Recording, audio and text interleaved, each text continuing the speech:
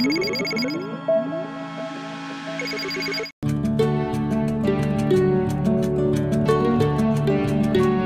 الزوايا الرجراجية مولاي عبد العزيز يرى أن توقيت موسم الرجراجة أو المعروف بالدور وجب تغييره خلال هذه السنة أو القادم من السنوات بسبب تزامنه مع شهر رمضان الكريم. الشيء الذي سيضعف من الرواج الذي تعرفه المواسم والتي تصول الأولياء الرجراجيين الثلاثة والأربعون.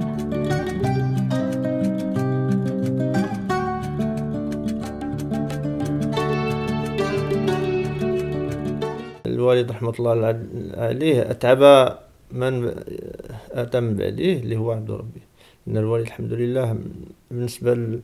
يعني حقق منجزات كبيرة يعني ولكن أنا الفكرة الأساسية اللي عندي أنه شوية هذا المورث ديالنا الموروث ديالنا الثقافي الديني ديال المنطقة عندنا خاص أنا عندي ليه أفكار اللي هي يجب أن مثلا أن تصحح فيه مجموعة من من الأمور اللي هي أنا كنعتبرها اللي هي دخيلة عليه. منها بعض الممارسات اللي هي وثنية بعض الممارسات اللي هي ليست من صلب هذا الموروث. هذا الموروث أساسا آه، اللي تركوه لنا الأجداد بني على آه، العلم.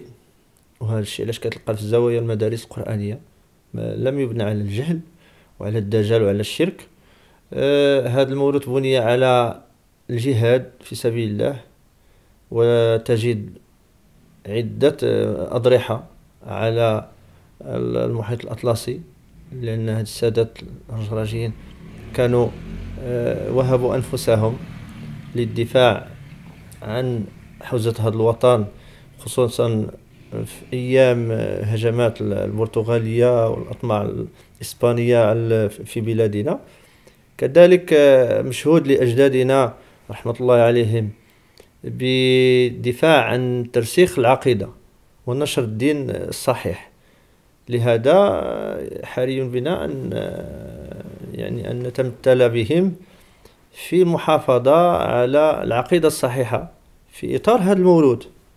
يعني نحافظ على ما هو إيجابي وعلى ما هو يتوافق مع التصوف السني الصحيح ولكن نحارب بالتدريجي بصفة تدريجية وبطريقة تدريجية نحارب بعض ما هو داخل عليه من ممارسات استرزاقية ممارسات يعني لا تمت إليه بصلة هذا ورش. الورش الثاني الذي أشتغل عليه هو أن أن هذا الموروث يعني من الناحية الإعلامية أنه يظهر ويبرز بشكل كبير لأنه كان هناك آه، حقبة كبيرة أن هذا الموروث كان مهمل إعلاميا وهذا آه، لأنه أنت حاليا لما نتكلم على مسار روحي هذا هو المسار الروحي الوحيد المغرب في المغرب. يعني الذي لا زال يشتغل بنفس الطريقة بنفس الأمكنة بنفس الأزمنة ويشتغل لمدة قرون ولم يتغير ولا زال مستمرا ويضم بين ثناياه مجموعة من العوائد تجلية في صلة الأرحام في الكرم في يعني في عدد عديد القيم التي نفتقدها في هذا في هذا الزمان.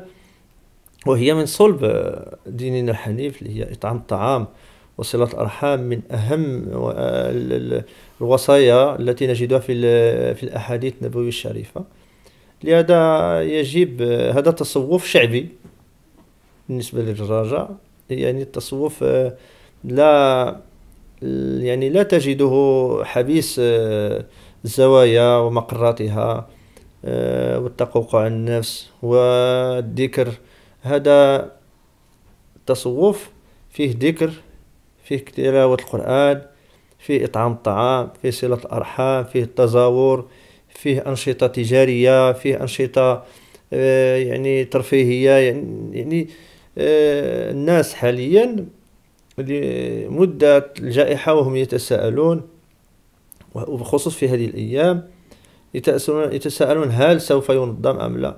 ويعني حاجة ملحة لتنظيمه حاجة يعني افتقدناه. حتى من كان ينتقده أصبح يسأل هل سينظم أم لا. افتقده. آه لهذا نحن إن شاء الله نأمل خير. وهذا سؤال لم توجهه إلي ولكن عبر منبركم حتى يعني أجيب على عديد التساؤلات التي تصيرني أود أن أوضح أننا إن شاء الله في لأن الموسم الموقف في التوقيت الاعتيادي ديالو في السنة في السنة هو في الفترة الربيعية المقبلة إن شاء الله. يعني في الأيام المقبلة في شهر مارس إن شاء الله سوف أستدعي السادة نواب الزوايا وسوف نعقد اجتماعا إن شاء الله على أمل أنه نسأل الله تعالى تبارك وتعالى أنه يرفع عنا هذه الجائحة. أه لكي نتذاكر أه هل يعني إذا ما كان هناك انفراج في هذه الأزمة وفي هذه الجائحة. أنا مثلا بعد شهر رمضان آه، ممكن أنه ينعقد هذا الموسم إذا ما رخصت السلطات المحلية لذلك. وهذا كما أشرت كما أشرت في هذه المداخلة أنه آه، هناك جدل عندنا هو بخصوص توقيت هذا الموسم. آه، كما لا يخفى عليكم هذا الموسم هو موسم ديني ولكن أصبح فيه موسم تجاري تنموي لمدة 38 يوما ما بين جنوب أسفي ومنطقة الشياضمة ويخلق يخلق يخلق رواج اقتصادي ويخلق فرص للشغل وخصوصا في هذه الظروف الحالية بالجفاف والجائحة ما أحوجنا إلى هذه الأنشطة وإلى هذا الرواج. لذلك نحن كمدبرين لهذا الشأن عندنا نقاش منذ تقريبا قبل حتى قبل انعقاد قبل يعني حلول هذه الجائحة.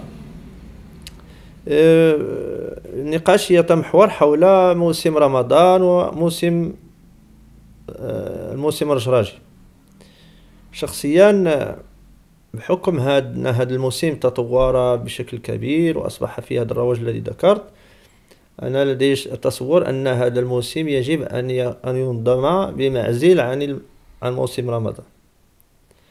لأنه آه، إذا ما نظم واحترمنا التوقيت السنوي المعتاد لتنظيم الموسم سوف يتزامن مع شهر رمضان خصوصا في هذه الأربع والخمس سنوات التي قديمة قديمة فإذا ما تزامن هذا التنظيم مع شهر رمضان المبارك سوف يكون هذا الإقبال وهذا الرواج ضعيف إلى حد كبير.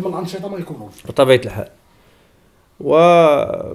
ولهذا أنا الرأي الشخصي ولكن أنا أعمل بمبدأ الاستشارة والتشاور وأزعم أن مجموعة من النواب الذين ينوبون عن الزوايا يسيرون في هذا الاتجاه أنه يجب أن حتى على مستوى أبناء الزوايا والمريدين يحبذون أنه آه، ينظم الموسم بعد شهر رمضان أو قبل شهر رمضان حتى يتسنى للأبناء الزوايا والمريدين أن من يريد أن يصوم شهر رمضان ويتفرغ للعبادة ويعتكف أو يذهب إلى العمرة فله المجال, المجال تكون فرصة متاحة. له وإذا نظم الموسم بعد شهر رمضان يكون أنه الحمد لله جمع ما بين الحسنيين. آه، هناك واحد الفئة اللي هي متشددة لأن نحافظوا على نفس الأعراف داعية أن لا كان الموسم من قبل ينظم آه، بتزامن مع شهر رمضان. ولكن آه، أنا أرى أن الموسم بصيغته الحالية في زمننا هذا أنه تبدل بشكل كبير وط... يعني الموسم بالصورة اللي كان عليها من قبل عشرين سنة أو 30 سنة اللي كان فيها تزامن مع رمضان في الثمانينات ماشي هي حاليا بصفتنا نقيب للزوايا الرجراجية يعني تدخل في ضمن صلاحياتنا أننا نحدد متى ينطلق الموسم ومتى ينتهي. بطبيعة الحال بالتشاور مع السلطات الإقليمية على رأسهم. ممثل صاحب الجلالة الإقليم السيد العامل آه، انطلاقة تكون هنا في الفترة الربيعية ربما واحد وعشرين مارس أو لا الأسبوع اللي بعده يعني أواخر شهر مارس. آه، يوم الجمعة. الافتتاح يكون انطلاقا من هنا في الزاوية زاوية نقيب حيث يعطي يعطي السيد العامل انطلاقة رسمية لانطلاق هذا الموسم. وذلك آه، بأداء صلاة الجمعة ومأدبة الغداء. بعد ذلك ننتقل إلى زاوية سيدي علي بن أبي علي المتواجدة بجامعة سيدي علي الكراتي اللي أعطى انطلاقة هناك للموسم الذي يدوم 38 يوم وينتقل بمحطات آه، يجوب خلالها مجموعة من الزوايا مجموعة من الأضرحة. ويختتم يختتم في حدرة بأكبر موسم آه، على الإطلاق لدى الزوايا الجراجية الذي حسب الإحصائيات السلطات أنه يتجاوز خمسمائة ألف زائر في تلك ما بين يوم السبت والأحد آه، في في المجموع الحمد لله. اشترك الآن في قناة أشواق تيفي وفعل الجرس ليصلك كل جديد. وشارك الفيديو على مواقع التواصل الاجتماعي. أشواق تيفي جريدة إلكترونية وطنية شاملة ومستقلة.